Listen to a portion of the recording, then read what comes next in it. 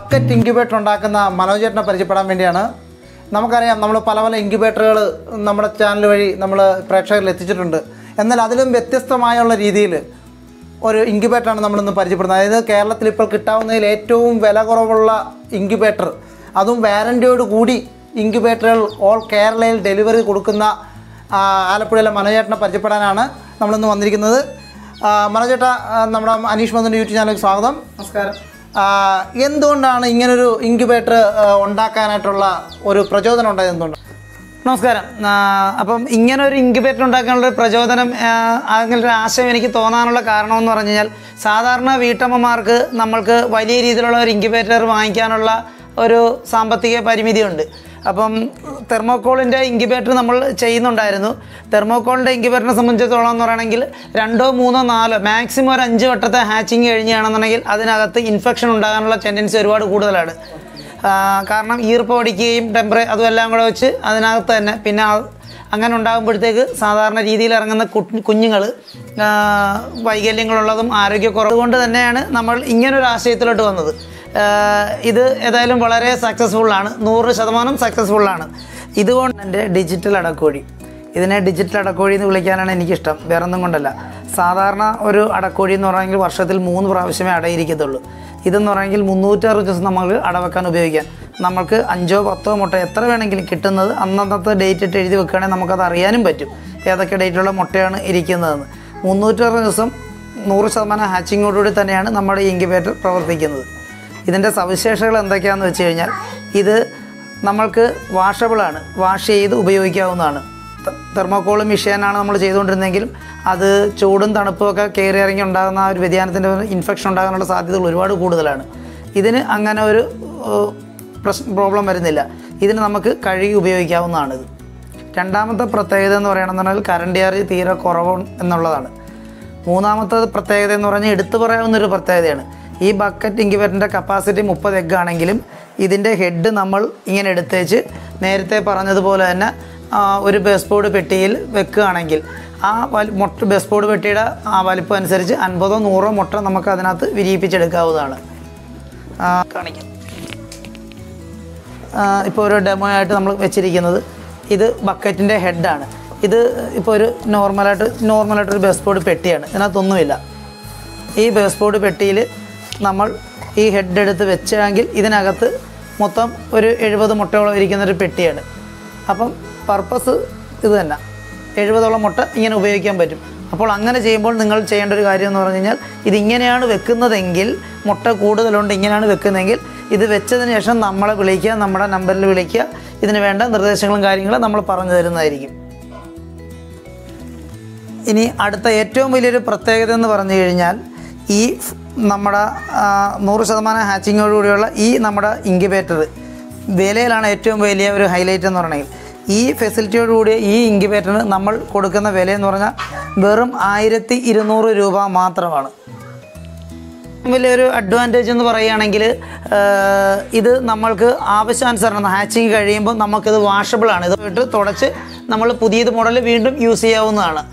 Weightless ആണ്. നമുക്ക് നമുക്ക് വീട്ടമ്മമാർക്ക് നമ്മൾ ഒരു സാധാരണ ഒരു ബക്കറ്റ് എഴുതുന്ന ആ ഒരു അതേ ലാഘവത്തോടെ തന്നെ ഇത് കഴുകി വൃത്തിയാക്കി ചെയ്യാവുന്നതാണ്. ഇതിന്റെ ഏറ്റവും വലിയൊരു പ്രത്യേകത. എത്ര മുട്ട വരെ നമുക്ക് ഇതിനകത്ത് ഉപയോഗിക്കാൻ ഈ ഒരു ഇതിനകത്ത് വെക്കാൻ പറ്റും ഇതിനകത്ത്? ഈ ഇതിനകത്താണെങ്കിൽ നോർമൽ രീതിയിലാണെങ്കിൽ നമുക്ക് മുപ്പത് മുട്ട വരെ ഇതിനകത്ത് ചെയ്യാൻ പറ്റും. പിന്നെ ഇതേ ഹെഡ് ഈ ബക്കറ്റിന്റെ ഹെഡ് എടുത്ത് നമ്മൾ ഇതുപോലെ ഒരു ബസ് ബോർഡ് പെട്ടിയിൽ വെക്കുകയാണെന്നുണ്ടെങ്കിൽ ആ പെട്ടിയുടെ വലുപ്പത്തിനനുസരിച്ച് അൻപതോ നൂറ് വരെയൊക്കെ നമുക്ക് വെക്കാൻ പറ്റും. യൂണിവേഴ്സൽ കൺട്രോൾ പോലെ നമുക്കിത് ഉപയോഗിക്കാൻ പറ്റും. ഉപയോഗിക്കാൻ പറ്റും ഉപയോഗിക്കാൻ പറ്റും. ഓക്കെ അപ്പോൾ ഇത് എങ്ങനെയാണ് സാധാരണ ഒരു വീട്ടം ഇത് എങ്ങനെയാണ് ഓപ്പറേറ്റ് ചെയ്യുന്നത് എങ്ങനെയാണെന്ന് കാണിച്ചു തരാം. എന്താണ് ചെയ്യേണ്ടത് ഓപ്പറേറ്റ് ചെയ്യാൻ നമ്മൾ ഉപയോഗിക്കുന്ന രീതി എന്ന് പറഞ്ഞാൽ വളരെ സിമ്പിളാണ് വീട്ടമ്മമാർക്കൊക്കെ വളരെ സിമ്പിളായിട്ട് ചെയ്യാവുന്ന കാര്യമാണ് ആദ്യമേ ഒരു ഗ്ലാസ് വെള്ളം എടുത്ത് ബക്കറ്റിന്റെ സെന്റർ പോർഷൻ വെക്കുക. അതിനുശേഷം നമ്മൾ കോഴിമുട്ടയോ താറാമുട്ടയോ കാടമുട്ടയോ എന്താണെങ്കിലും വെക്കാൻ ഉദ്ദേശിക്കുന്നത് നമ്മൾ ഇതിന്റെ ചുറ്റിനും നമ്മൾ വെച്ച് കൊടുക്കുക. കോഴിമുട്ടയാണെങ്കിൽ നമുക്കൊരു മുപ്പതോളം കോഴിമുട്ട നമുക്ക് ഇതിനകത്ത് വെക്കാൻ സാധിക്കുന്നു.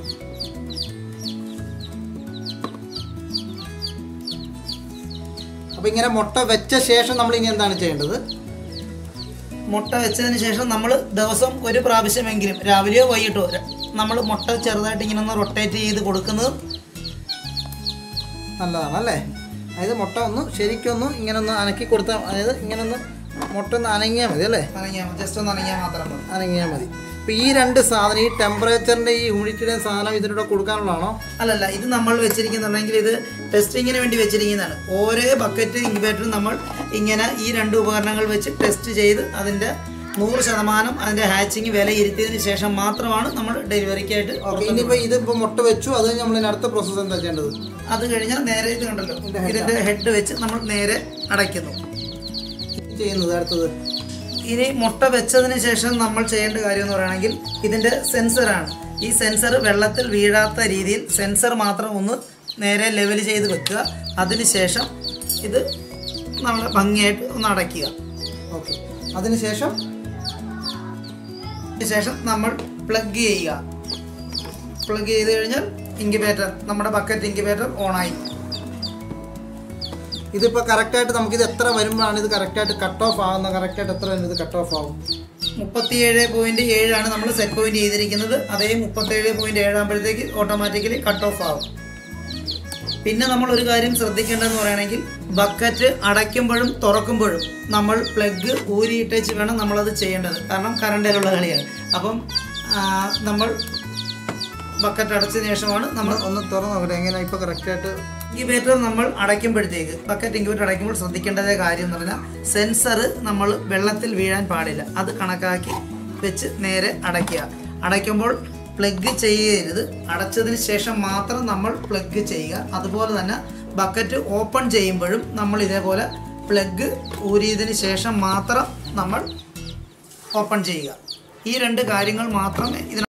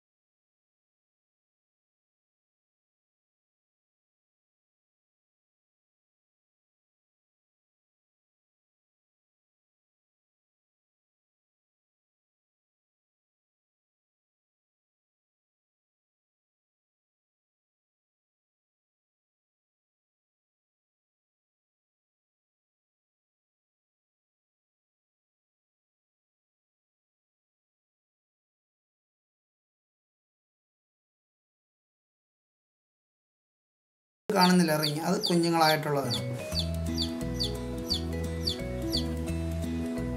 ബക്കറ്റിലാണെന്നുണ്ടെങ്കിൽ ഈ പറഞ്ഞ കണക്ക് തന്നെ മുപ്പത് മുട്ട വരെയാണ് മാക്സിമം വെക്കാൻ സാധിക്കുന്നത്. ഇതിന്റെ ഹെഡ് നമ്മൾ ഊരിയിട്ട് ഇതുപോലെ ഒരു ബസ് ബോർഡ് പെട്ടിയിൽ അത് വലിപ്പം അനുസരിച്ച് അമ്പതോ നൂറോ വരെ നമ്മൾ കൊള്ളിക്കാം.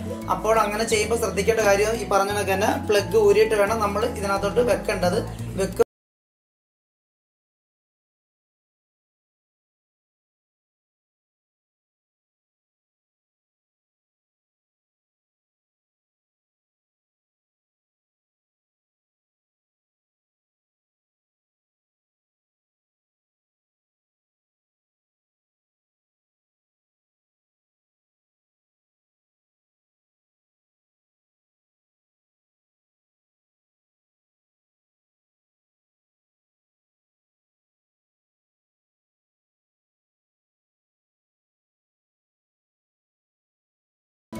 മാത്രമല്ല ഇതിന്റെ എടുത്തു പറയാവുന്ന ഏറ്റവും വലിയ മറ്റൊരു സവിശേഷത എന്ന് പറയുകയാണെങ്കിൽ ഇത് ഈ സവിശേഷതയോടുള്ള ഈ ഇൻക്യുബേറ്റർ നമ്മൾ വെറും ആയിരത്തി ഇരുന്നൂറ് രൂപ മാത്രമാണ് നമ്മൾ വാങ്ങിക്കുന്നത്. അതും വാറന്റിയോടുകൂടി മാത്രമല്ല കേരളത്തിൽ എവിടെയും ഇത് ഡെലിവറി സൗകര്യമുള്ളതാണ്. അത് ഇത് നമ്മുടെ മെയിൻ ബോക്സിന്റെ ഇതിലുണ്ടാക്കിയിരിക്കുന്ന ഒരു ഇൻക്യുബേറ്ററാണ്. ഈ ബോക്സിന് മാത്രം ആയിരത്തി മുന്നൂറോളം വില വരുന്നതാണ്. ഇതും ഗ്യാരന്റിയോടുകൂടി കൊടുക്കുന്നതാണ്. ഈ മെഷീൻ എന്ന് പറഞ്ഞാൽ നൂറ് മുട്ടയ്ക്ക് മുകളിലാണ് ഇത് വെക്കുന്നത്. ഇതും ഓൾ കേരള നമുക്ക് ഡെലിവറി സൗകര്യമുള്ളതാണ്